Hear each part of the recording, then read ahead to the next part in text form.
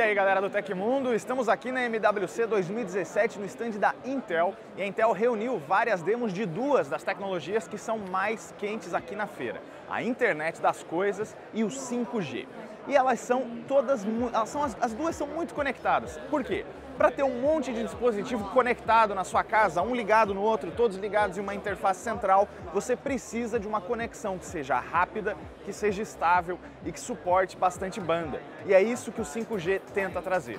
A Intel fez uma demonstração para a gente, uma pequena casa que eles montaram aqui no stand, em que você faz comandos de voz usando, por exemplo, o Alexa da Amazon, e ele liga todos os dispositivos da sua casa ao mesmo tempo. Então ele destrava a sua porta quando você acordou, ele começa a fazer o seu café, ele liga janelas, liga a TV, tudo utilizando a internet das coisas para gerenciar esses produtos e a rede 5G. E aqui no stand da Intel a gente também tem uma demonstração da plataforma que permite a você conseguir gerenciar e conseguir acompanhar todos os produtos inteligentes que você tem na sua casa. Afinal, não adianta nada você comprar um monte de dispositivo e ter várias interfaces diferentes ou não saber direito o que cada um está consumindo, como ligar cada um.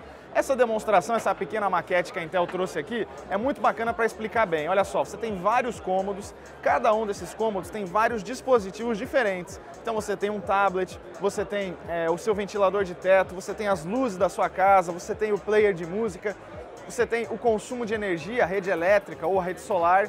Todos eles estão consumindo alguma energia, gerando alguma energia e você pode gerenciar tudo isso.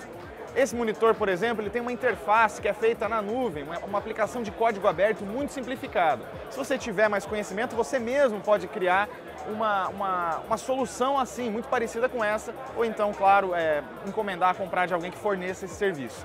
Aqui nessa interface, veja como ela é super intuitiva, ela é muito fácil de ser gerenciada. Você tem o alerta de que tem alguém na sua porta da frente, então você tem um sensor de proximidade na porta. Você tem o resumo do consumo de energia na sua casa, então a sua conta de energia elétrica, os gastos do dia, os itens que você está usando que mais estão consumindo, como o aquecedor, o clima, né, que permite você saber se você precisa usar alguma coisa a mais ou não, a luz ambiente, e você tem até alguns comandos para usar remoto, como o LED e até o ventilador de teto.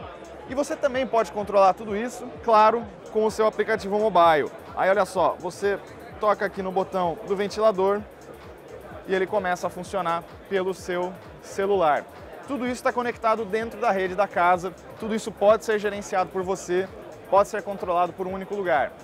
Isso é feito graças a uma série de soluções na nuvem, que é fornecido, por exemplo, pela Intel e também por gerenciamento de código aberto, que significa que ele pode ser bastante personalizado, bastante modificado e ficar do jeito que você gosta.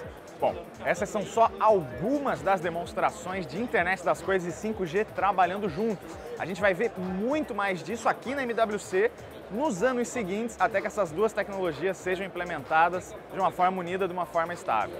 Continue acompanhando a cobertura do Tecmundo da MWC 2017 no nosso site e também aqui no canal no YouTube. Até a próxima!